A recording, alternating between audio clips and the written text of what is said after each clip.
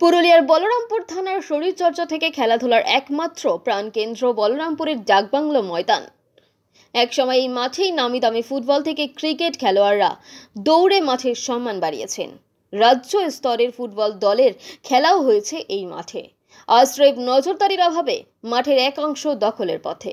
তাই ক্রীড়াপ্রেমী মানুষজনের দাবি অবিলম্বে মাঠের সংস্কার করে উন্নত হোক খেলার মাঠ। ক্রীড়াপ্রেমী স্বপন মুখোপাধ্যায় জানান, এই মাঠটি হল ফুলচাঁদ উচ্চ মাধ্যমিক বিদ্যালয়ের। তাই এখানে বিদ্যালয় কর্তৃপক্ষ প্রশাসন যৌথভাবে নজরদারি করলে মাঠটির উন্নয়ন ঘটবে। মাঠ এখন খেলাধুলার জন্য, সেখান থেকে প্রচুর ছেলেমেয়েরা এখন অনেক চাকরি পেয়েছে, কিন্তু মাঠটা দিন দিন দখল হয়ে যাচ্ছে এবং মাঠের যে খেলার মাঠ, সেই মাঠ কিন্তু নষ্ট হয়ে গেছে। সেটা প্রশাসনিক নজরদারি নেই বলে অভিযোগ উঠেছে কিছু ক্রীড়াপ্রেমী মানুষ, ঠিক এটা প্রশাসনিক দিক থেকে কী আপনারা সিদ্ধান্ত নেবেন আমরা কিছুদিন আগে যে বলরামপুর ডাকবাংলা মাঠের ব্যাপারে একটা আমরা খবর পাইছিলাম যে মাননীয় মুখ্যমন্ত্রী মমতা ব্যানার্জির অনুপ্রেরণায় একটা আমাদের এখানে স্টেডিয়াম অর্ডার হয়েছিল। যেহেতু আমাদের ফুলচাঁদ স্কুলের আন্ডারে আমাদের ডাকবাংলা মাঠ, সেই মাঠে আমাদের সেই সময় যে স্কুলের কমিটি বা স্কুলে যারা সেক্রেটারি আছে তারা সেই সময় আমাদেরকে ওই মাঠে কাজ না করতে দেওয়ার জন্য আমরা ওই মাঠের যে উন্নয়ন কাজের টাকা আমরা তাতে সেটা আরসা ব্লককে আমরা রিটার্ন দিই। আমরা এখনও বলছি যে যদি স্কুল, ফুলচাঁদ স্কুলের মাঠ বা আমাদের যে মাঠ যারা পরিচালনা বা মাঠের যারা কমিটি আছে, যদি আমাদেরকে ওখানে কাজ করার অনুমতি দেয়, আমরা সরকারের পক্ষ থেকে সেই মাঠ আমরা নিশ্চয়ই নির্মাণ করব।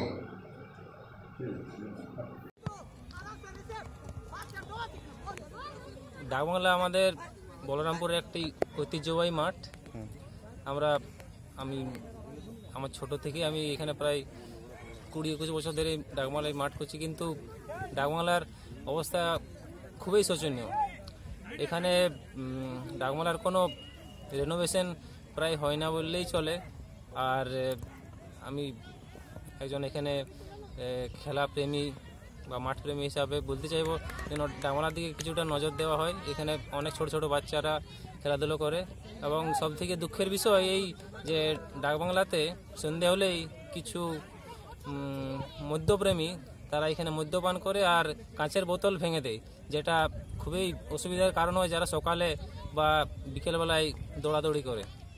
আমি প্রশাসনকে অনুরোধ করব যেন এইটার ব্যাপারে একটু আলোকপাত করেন এবং এটার কড়া ব্যবস্থা নেই।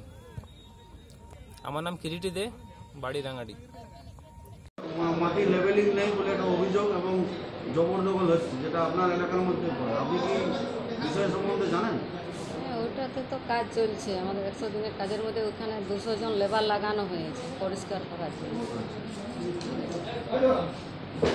লেভেলের জন্য হ্যাঁ লেভেলের জন্য ওই লেবার দিয়ে লেভেল করা হবে পরিষ্কার করা হবে। কাজ চলছে। গাছ লাগানোটা আমরা এইবারে মানে ওই প্ল্যান্টেশনের কাজগুলো তো প্ল্যান্টেশন কাজ করার জন্য আমরা প্ল্যান অ্যাপ্রুভ মানে করব আর কি।